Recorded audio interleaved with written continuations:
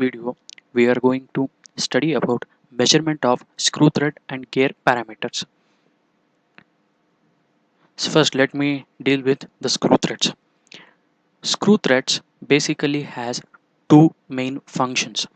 So the first function is the power and motion transmission as you can see in case of a screw jack or lathe and it the second function is it can act as a fastener that is hold or clamp the parts together in an assembly.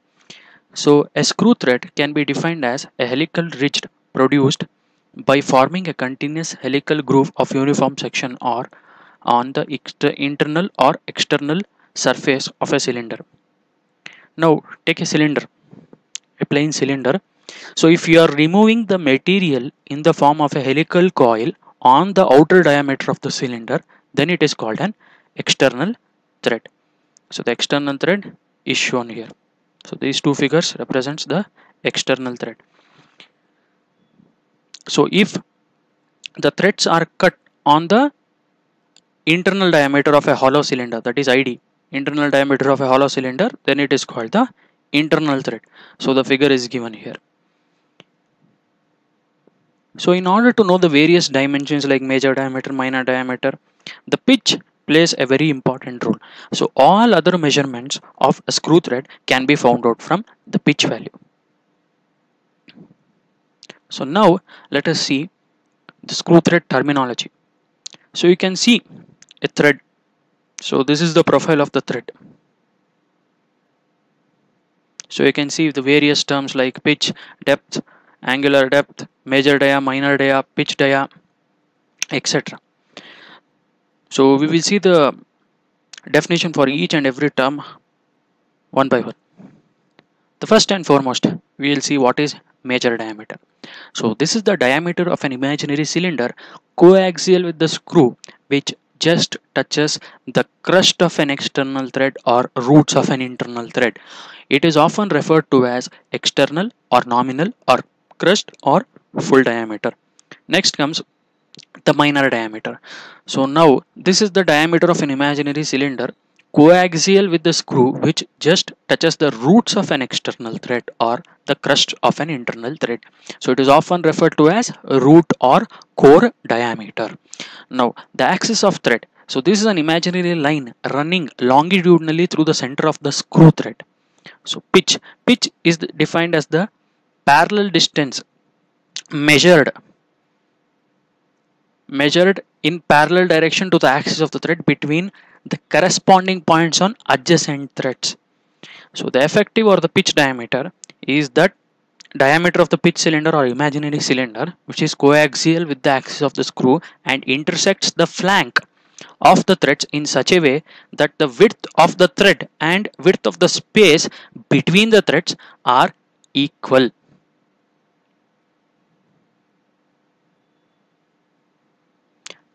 So next comes lead.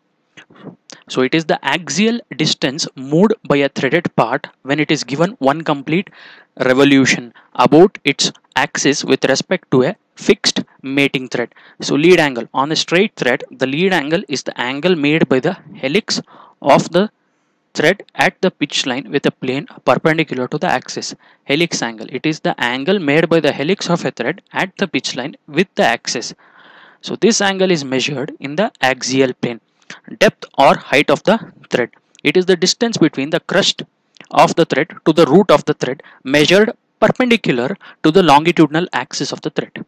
Axial thickness, this is the distance between the opposite faces of the same thread measured along the pitch line in a direction parallel to the axis of the thread. Flank angle, so this is the angle between the individual flank and perpendicular to the axis of the thread which passes through the vertex of the fundamental triangle and is known as the half angle of the thread.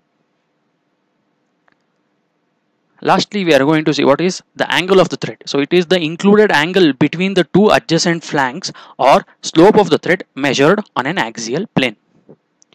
So next, we will be seeing different types of thread. So basically we have left-handed thread and right-handed thread based on the rotation given. So say you rotate the thread clockwise and it advances forward. So then we say we move the screw thread in clockwise direction and the screw advances linearly in forward direction. Then we say it is right handed thread. If we rotate the screw head in counterclockwise or anti-clockwise direction and the screw forwards linearly then we say it is left handed thread so next we have to understand that for given axial displacement if there is one thread movement for one rotation then we say it is single started one rotation one thread moves. Okay one complete 360 degree rotation only one thread moves forward then we say it is single start so when for one complete rotation we have so the other types of threads are two start and three start so but in case of multi so these are called multi start threaded screw there is movement of more than one thread. So if it is two start so per per uh, that is for one revolution two threads will move. So in this for one revolution three threads will move in the mating part. So next we will be discussing the different forms of screw threads. So basically or broadly the types of threads can be classified into two types. The first one is v threads the second one is transmission threads. So v threads are basically used for fastening purpose. That is to hold or clamp two parts in an assembly. So simple in design and easy to produce. Next comes the transmission threads. So they are mainly used to transmit power and motion. So if you take the lathe so then lead screw of a lathe that you are using in thread cutting operation. Then screw jack thread. Then comes the thread of the machine vice where you use to uh, where it is used to transmit the motion and power to clamp the workpiece so we will see the different types of v thread. So the first type of v thread we come across is iso metric thread or international standard organization metric thread. So the included angle so the all the threads are classified based on the included angle basically. So for iso thread the included angle that is the thread angle between the flanks is 60 degree. Okay? So basically these iso threads can be classified into two types so one is coarse threads which is easy to cut and has even stress distribution the second one is the finer threads which have greater strength and high resistance to unscrewing as they have more number of threads per unit length. So example, so a thread ISO thread is given by M16 into 1.5. So this indicates that it is a screw thread with 16 mm nominal diameter or major diameter and 1.5 mm pitch. So whenever the thread is coarse thread then only you will have this pitch mentioned in the with the major diameter so once the pitch is not mentioned it means that it is a fine thread so the next type of uh, V thread we are going to see is British Association thread or BS screw threads. So here the included angle is 47.5 degrees. So it is used in some optical instruments, clocks, etc. So the third type of V thread we are going to see is BSW or British Whitworth Standard thread. So here the included angle is 55 degree. So it is used in assembly of parts wherever it is required. Where easy assembly of parts is required.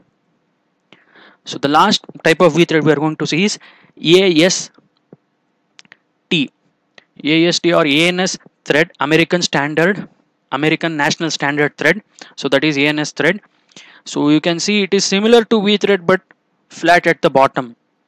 Okay, so it is similar to the V thread or ISO thread but it is flat at the bottom and top. See, so it remains flat at top and bottom and the included angle is 60 degree. So it has good strength and locking characteristics and is used in rough work. So next comes transmission threads. So which are basically used to transmit motion and power in any mechanism. So the first type of thread we are going to deal here is the square thread. So here the angle of the thread is 90 degree. So you can see this included angle between the flanks is 90 degree. So it has high efficiency difficult to manufacture thread profile is perpendicular to the axis of rotation. So this is if you call this as axis of rotation then the thread is at 90 degree. So that is perpendicular. So there is no side thrust on the screw.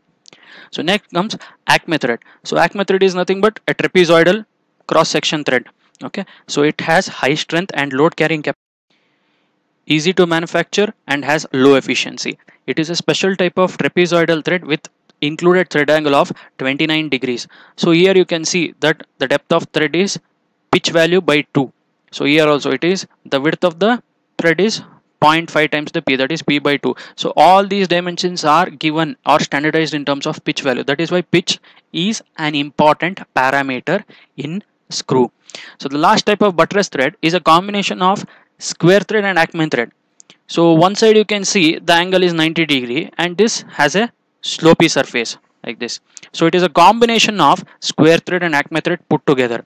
So it has high strength and high load carrying capacity and can transmit motion in only one direction. So the included angle here is 45 degree.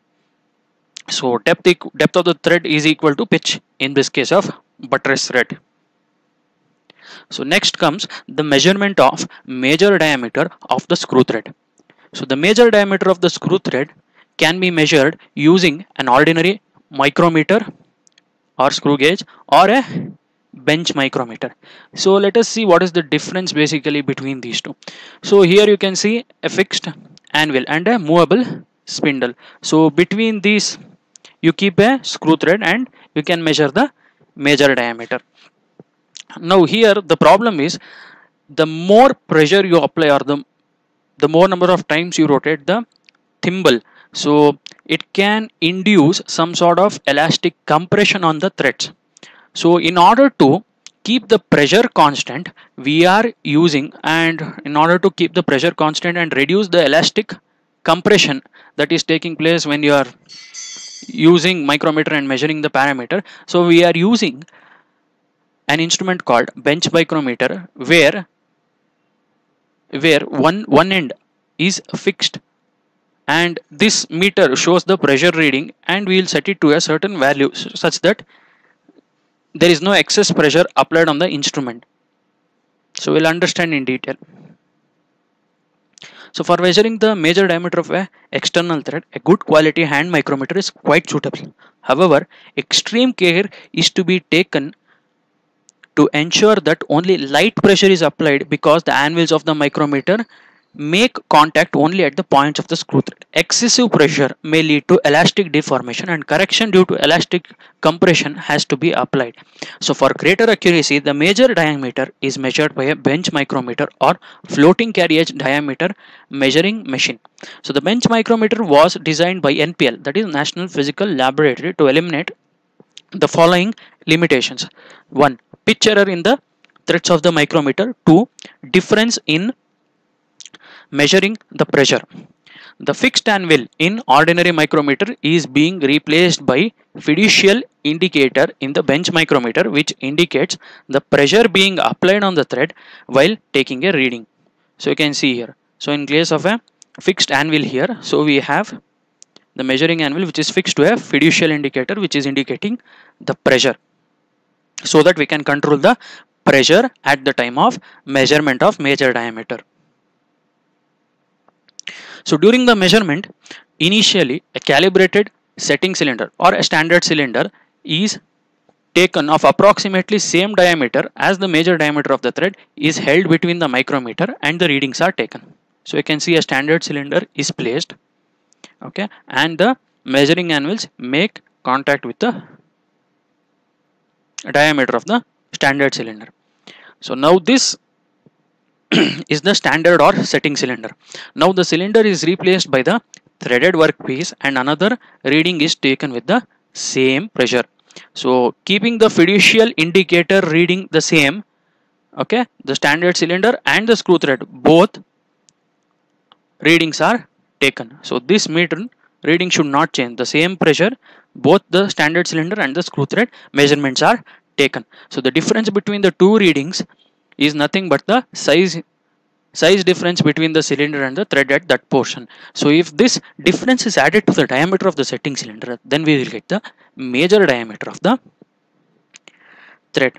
So you can see the various parts. The clamps are provided to hold the specimen in definite space. so then you can see the holding anvils. So the holding or measuring anvils. So here this gives the this is the micrometer head which holds the scale for measurement. So let d be the diameter of the setting or standard cylinder. R1 be the reading over the setting cylinder. R2 be the micrometer reading over the threads. So then the major diameter of the thread is given by d plus or minus r2 minus r1 so the plus or minus sign to be used is decided decided whether the standard cylinder is based on whether the standard cylinder is larger or smaller than the measured major diameter. So this measurement should be repeated at three positions. So three separate positions across the length of the thread. Okay? So to determine the amount of taper which may be present? So similarly at three angular positions to detect the ovality of the thread.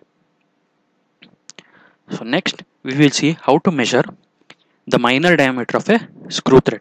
So we have an instrument called floating carriage micrometer that is used to measure the minor diameter of the screw thread. So you can see the instrument. Okay, the floating carriage micrometer looks like this. So initially, first you have it is in uh, it is of the same type of how you performed on bench micrometer. Initially, you take a standard or setting cylinder setting cylinder and take the reading take the reading r1 so from here to this point the reading is r1 d is the d is the diameter of the setting or standard cylinder. So then we keep the actual screw thread such that the v piece makes the contact with the root or root of root or trough of the thread and a reading R2 is taken. Okay, so D small d is the minor diameter of the screw thread. So in case of floating carriage micrometer, the small V pieces are available to make the contact with the root of the thread. So as you can see here, so this is the V piece which makes the contact at the root of the screw thread. So V pieces are made of hardened steel and available in different sizes having suitable radius at the edge so that so that with the included angle less than the angle of the thread to be checked. So this so this edge this edge so this edge of the V piece is circular in shape and is and is such that it can go and fit on the root root of the any any thread okay so initially the standard cylinder is placed between the anvils of the micrometer with the help of V pieces. The diameter of the standard cylinder is known that is capital D and the reading R1 is noted in the first step. So you can see. So this is the standard diameter cylinder. Standard diameter of the cylinder is capital D and reading R1 is taken. So here similarly in the second operation it is replaced. The standard cylinder is replaced by the thread of required interest whose uh, minor diameter is to be found and reading R2 is taken. So now the standard cylinder is replaced by the threaded workpiece. The reading R2 is taken. So minor diameter is given by D plus or minus R2 minus R1. So to determine the taper and ovality, the readings are taken at various positions all along the length of the thread. So next comes measurement of effective or pitch diameter. So measurement of effective or pitch diameter is very important as it plays a vital role in perfect fitting of mating threads. So can be done one by one by can be done by three methods are there. So one wire, two wire or three wire methods. So the two and three wire methods are more important. Okay, so we'll first see the one wire method. So basically you have the micrometer anvil stored here.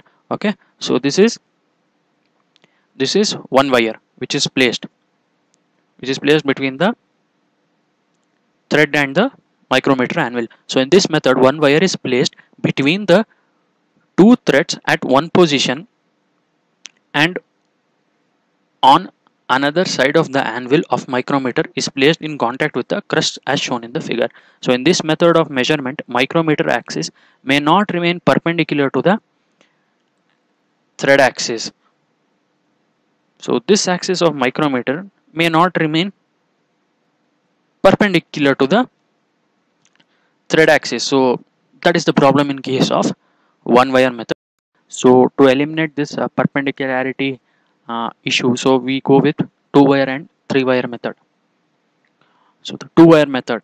So the two wire method uh, the effective diameter cannot be measured directly but can be calculated from the measurements made so wires of exactly known diameters are chosen such that they contact the flanks at their straight portions. So if the size of the wire is such that it contacts the flanks at the pitch line, then it is called the best size wire which can be determined by geometry of the screw thread.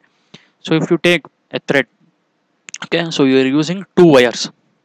Okay, so this is the micrometer anvils. So where we are placing two wires. So this is the reading. This reading H is dimension over wires. So this is the maximum dimension so E is nothing but the effective diameter of the screw thread which is required to be found. So Y is below the pitch line. So dimension under the wires that is minimum. So D is the diameter of the wires used.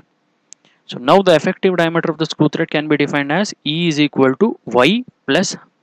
So if you see the diagram, so this is the magnified image of one wire. So this magnified image is shown here. So if you place a wire of diameter d okay so such that it makes contact with the flanks at point d and e okay. So o is the center of the wire. So then you will have these two right angle triangles being formed so we will see that later. So now y y is the dimension under wires right? So it is under wire right? The wire or the diameter this wire ends here. So it is dimension under the wire. So e is the so this is the pitch. So e is little bit higher than y. So this is the h. So this is dimension over the wires. Okay? So the effective, effective diameter from the diagram is given by e is equal to what? Y plus okay.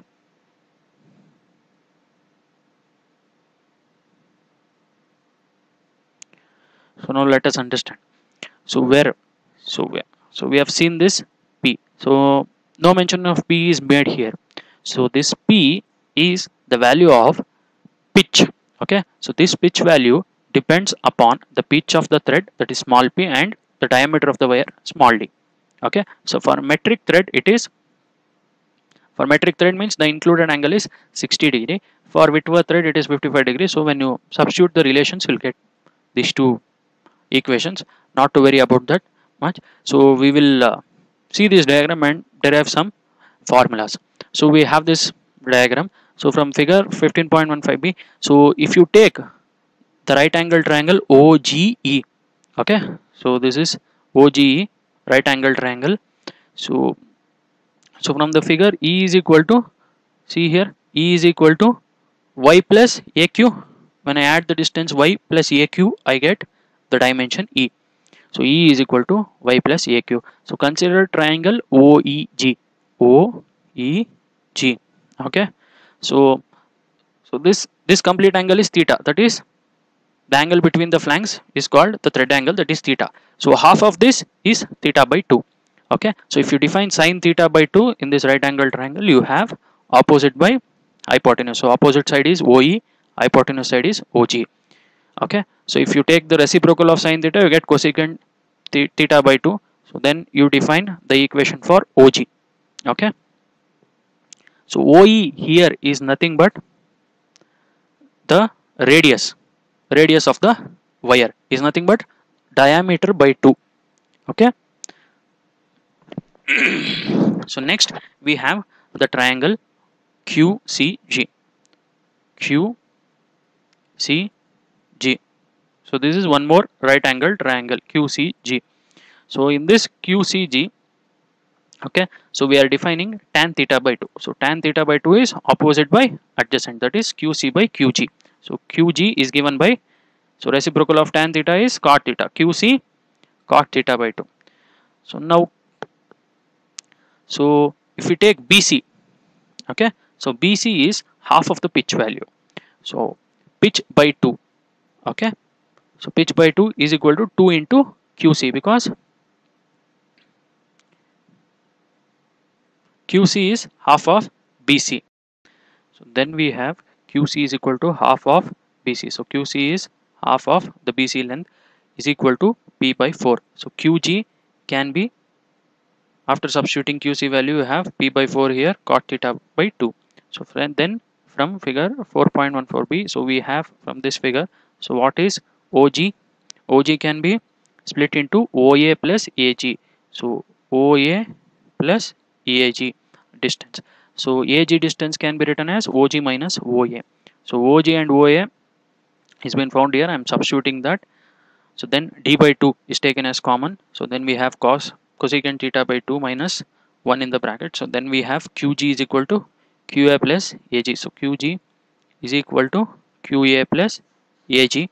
Okay. So QA can be defined in this format and after substituting so we have this so next we have AQ is half of the pitch value therefore 2 times AQ is the pitch is equal to 2 into AQ value we are substituting here okay so then we have pitch is equal to so multiply these 2 inside to both the terms then we'll have this like this. So then for metric thread we are substituting theta as 60 degree that is isometric thread okay? So we have theta is 60 degree we are substituting we get this value okay?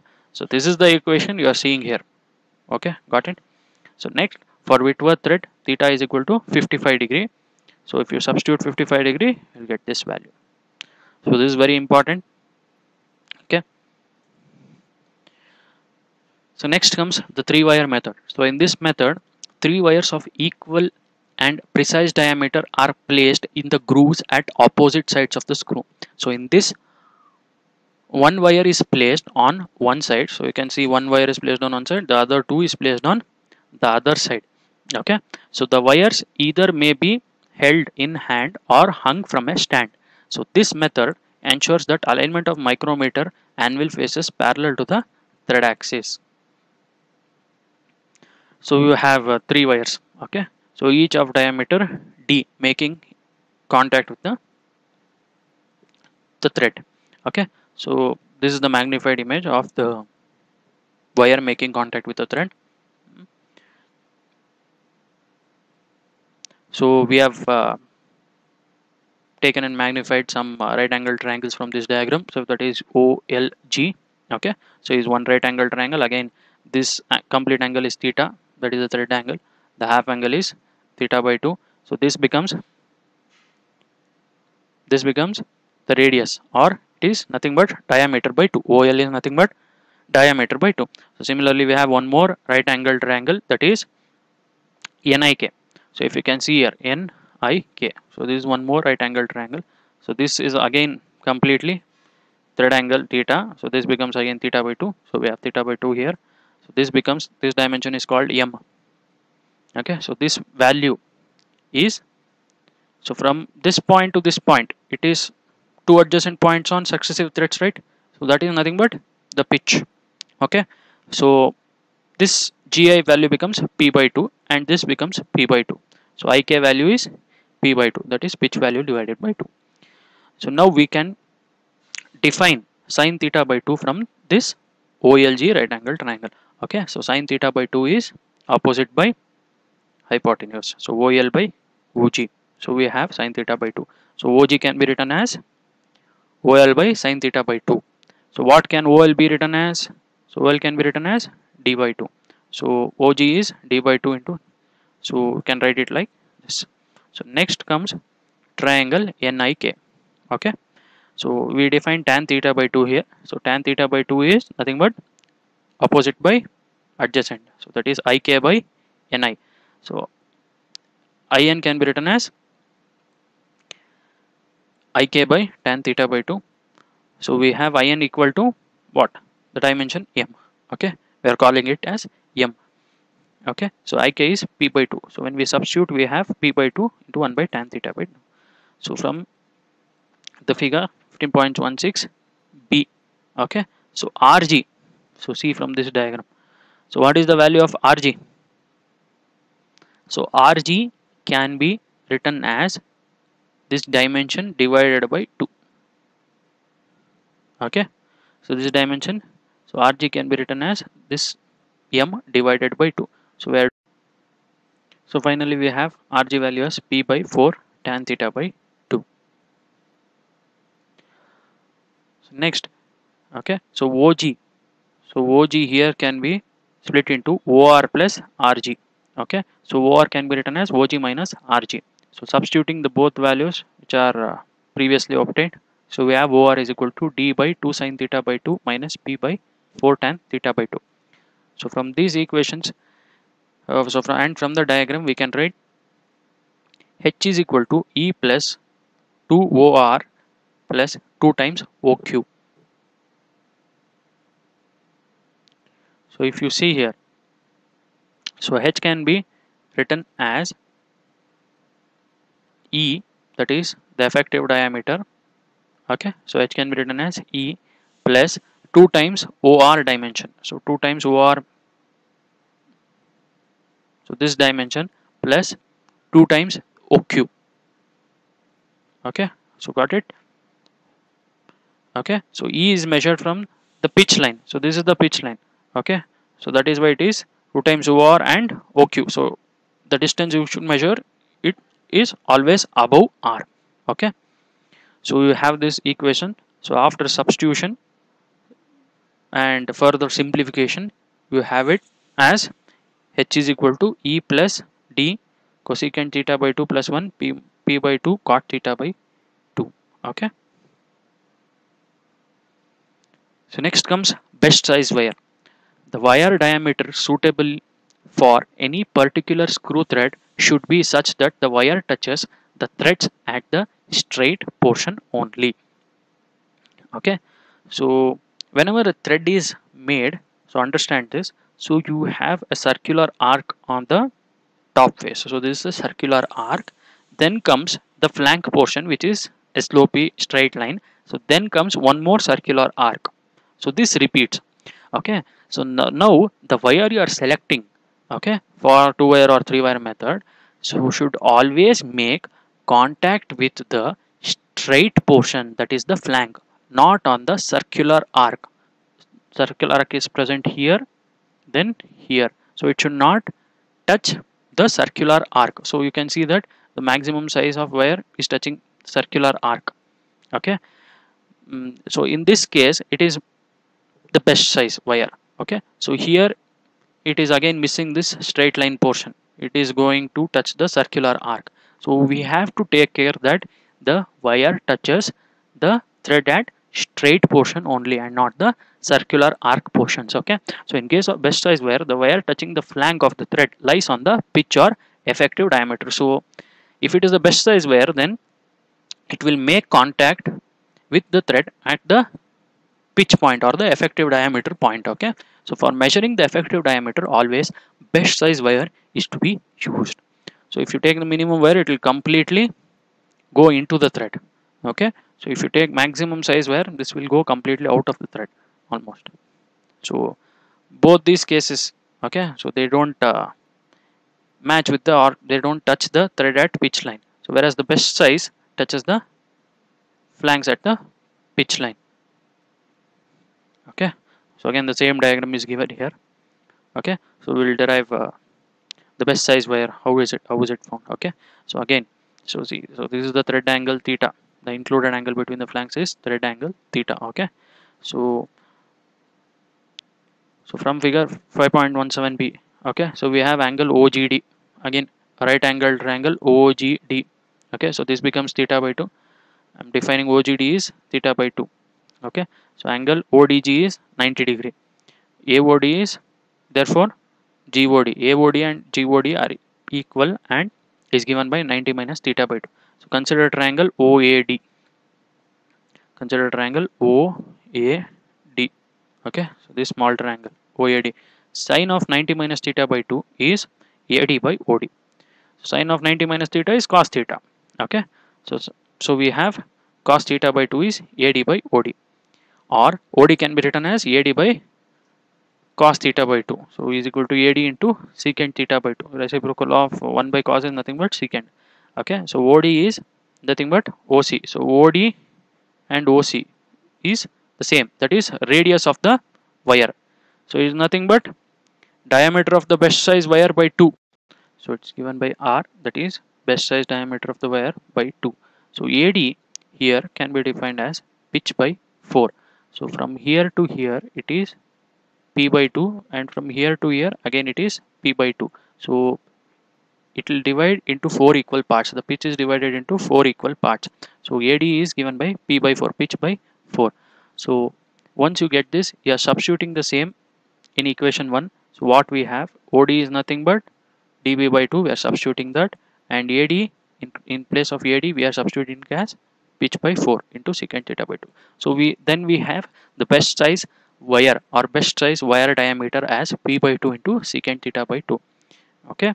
So the above equation gives the best wire diameter in terms of the pitch and the thread angle. So once you know the thread angle and the pitch of the thread you can directly select the best wire for measuring the effective diameter of the thread. Okay? So similarly for metric thread when you substitute theta is equal to 60 degree you have best size wire as 0.5773 p okay? For Whitworth thread you have 0.5636 p okay? So next comes screw thread gauge. So you have seen you have seen a slip gauge. So similar to go and no go so i've seen many types of gauges right so a thread gauge is one which is also known as screw gauge or pitch gauge it is mainly used to measure the pitch or lead of the screw thread so pitch is the adjacent distance you have to find so it is a reference tool in determining the pitch of the thread and is on a screw or on a tapped hole. This is the tool not used as a precision measuring instrument. Rather, it allows the user to determine the profile of the given thread and quickly categorize the thread based on shape and size. So this device also saves time and removes the need of user to measure and calculate the pitch of the threaded item. So you can see. Okay, so this is a way thread gauge, screw thread gauge looks. So next we have toolmaker's microscope. So it is a so it is an optical instrument uh, basically uses the principle of magnification okay? So for measurement purposes. So it is a versatile optical measuring machine mainly used for inspection of gauges tools screw threads jigs and fixtures. So typically toolmakers microscopes looks like this. So it has uh, two micrometers okay? So that is fitted okay? So this you can call it as x-axis this you can call it as y-axis. So you have the eyepiece here okay? So eyepiece here. So so there is a setup inside the box here okay as shown here. So so there is a lamp or light source okay. So then we have a parallel beam of light coming and hitting a reflecting surface such as a mirror okay. Then the light is focused onto the specimen okay. The specimen uh, reflected light passes through the eyepiece and the image is formed here okay. Magnified image is formed here. So this eyepiece has cross wires so from which uh, you can measure various parameters of the screw thread. So basically it consists of a hollow base which accommodates illumination unit underneath. So a circular stage or upper part of the base made of so this is the transparent glass uh, plate on which the component or the specimen is rested and it can be rotated through 360 degree. An objective lens eyepiece 2 micrometer screws. So these are the 2 micrometer screws whichever I showed you. Okay? The 2 micrometers that are provided. Okay? So one for the longitudinal movement and one for the lateral movement of the stage or surface table that is holding the specimen. So working procedure during the measurement of the component is mounted on the glass plate kept on the table. A light source provides a beam of light which is reflected 90 degree from a mirror towards the table. A light beam passes through the transparent glass plate and a shadow image of the workpiece through the objective of the optical head. Now the observation is made through the eyepiece of the optical head. The cross line are provided on the ground glass of the screen such that which can be rotated by 360 degree for angular measurements. So applications they are used for measuring thread angle using protractor eyepiece used for measuring pitch and effective diameter of the screw thread, comparison of thread forms with master profiles marked in eyepiece. So next we have the pitch measuring machine. So, so we know that uh, pitch is defined as the distance between two successive points on adjacent thread. Okay, so to determine the pitch of a screw thread, so we have this instrument. Okay, so where we have this fiducial indicator and a T pointer. Okay, so and a stylus or a plunger. Okay, so this plunger basically makes contact at the pitch line with the screw thread. Okay it makes the contact at the pitch line for any given screw thread. So to verify that this T pointer tip should be in line with the mark made here. So once that is done so it, it the stylus makes stylus or plunger makes the contact with the thread at the pitch surface so now once you move the micrometer it will just slide over the flank and the stylus comes and rests on the next thread so the difference between these two readings will give me the value of pitch. So spring loaded head permits the stylus to move up the flank of the thread and down into the next space as it is moved along. So accurate positioning of the stylus okay between the two flanks is obtained by ensuring that the T pointer is always opposite to the index mark. So this is the index mark. So this should always lie the index mark. So when readings are taken. So when a pointer is accurately placed in position the micrometer reading is noted. So when when will you take the micrometer reading? Exactly when the t pointer is in line with the index mark and so that so that the stylus makes contact at the pitch line. So by the rotation of micrometer as a second reading is taken so that this comes and lies here. The second reading is taken. So the difference between the two readings gives the pitch of the thread so this is the pitch measuring instrument. So what if we have pitch measurement or we have to measure pitch for an internal thread. So this is uh, the previous case was for an external thread. So now if we have an internal thread, what we do? So this is our internal thread. Okay, so this is our internal thread. So this is the stylus. Okay, so this is the bar carrying the stylus. So now so this is fixed. This internal thread is fixed with the help of a chuck okay so now any variation here. Okay so any variation in the position of the stylus is will actuate this mechanism and a reading is indicated here.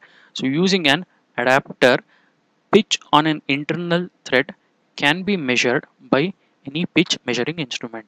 So this is a setup called as adapter okay so this adapter carries a fine bar which can be inserted into the ring. So this is the fine bar which can be entered into the ring. The stylus being fitted on the bar, right? So this stylus is being fitted on this bar, engaging the thread in usual manner.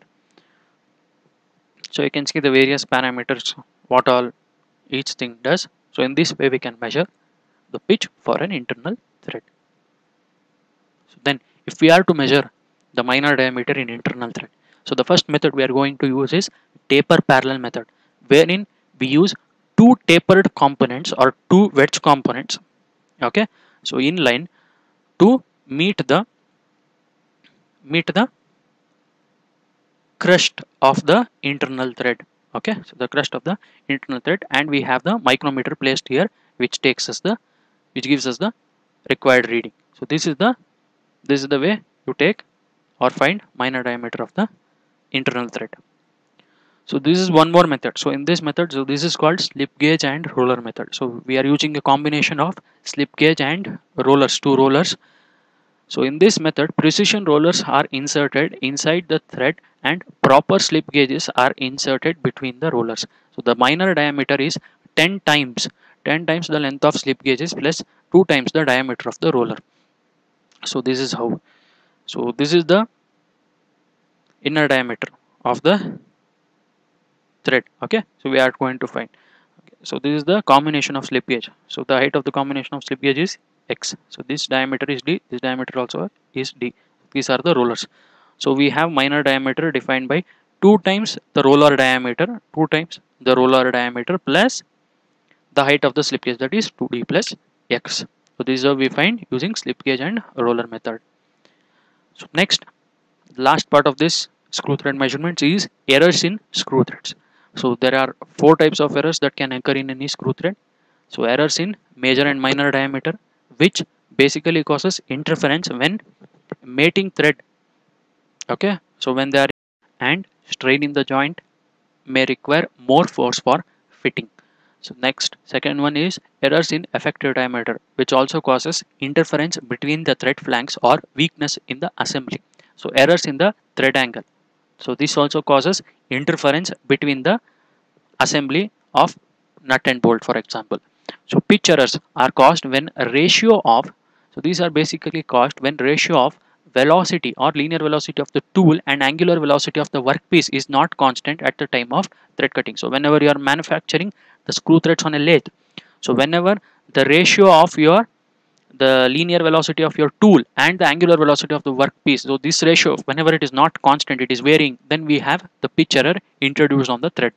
Okay? So pitch error can be further classified into progressive periodic drunken and irregular error. So the progressive error so in this type of error the pitch of the thread is uniform but it is longer or shorter to its nominal value. So the nominal value may be 10 mm but your pitch may be uh, 9.9 or 10.1 consistently it will be 10.1 or 9.9 so that is the mistake that is happening. So so the causes main causes are incorrect linear and angular velocity ratio incorrect gear train and lead screw saddle fault so variation in length due to hardening. So cumulative pitch error it keeps on increasing with the length of the thread. Okay? So next comes periodic error. So periodic error as the name itself suggested. Okay? Periodic means repeating itself after regular interval of time along the length of the thread. Okay? So causes non-uniform tool work velocity ratio. Teeth error in the gears. So where does gears come from? So in the lathe you have the gear ratios or the gearbox. Okay? Where you set certain ratios. So if there is some error in the teeth of gears there then you will have the periodic error setup okay? So lead screw error. So lead screw is the one screw on the carriage on which your carriage carrying the tool post will move when thread cutting operation takes place. So any uh, tampering or uh, changes in the lead screw error in the lead screw will again lead to periodic error. So eccentric mounting of the gearings. So cumulative pitch error versus length of the thread goes like this so then comes drunken error. So repeated once per turn of the thread is drunken error. So in drunken thread the pitch is measured parallel to the thread axis. If the thread is not cut to the true helix drunken error will will be formed. So this is how the error takes place. So this is the true thread dimension which should be there but the helix angle is not taken care of. So we have a curve shape being formed. That is drunken thread. Okay? So then we have irregular errors which may occur in an irregular manner along the length of the thread. So this is basically due to machine fault non-uniformity in material cutting action is not correct and various machining disturbances